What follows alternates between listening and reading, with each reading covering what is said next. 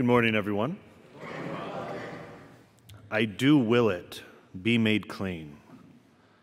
These words that Christ speaks today to the leper are the same words that he speaks to each of us.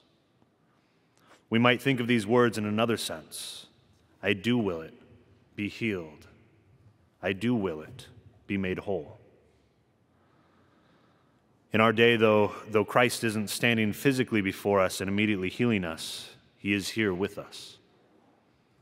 It's through his holy sacraments that he is here present.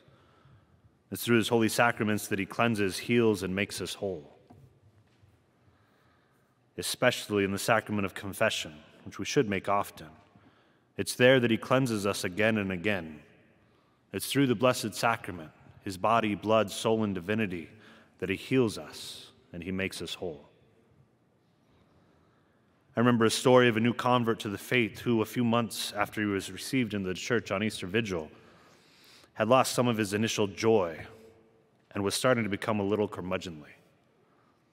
One day at breakfast, his wife stopped him, looked him square in the eyes, and said, Listen, I don't know anything about this new faith of yours, but you're being a jerk. When was the last time you went to confession?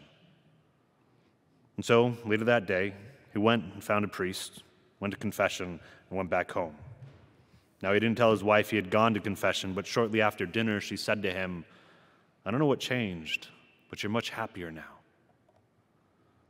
My brothers and sisters, the sacraments were made for us. Do not be afraid to take advantage of them. God works through them, and He works on us through them. Helps us to be holy, to be happy, to be healthy. It is there that He tells us, I do will it, be made clean.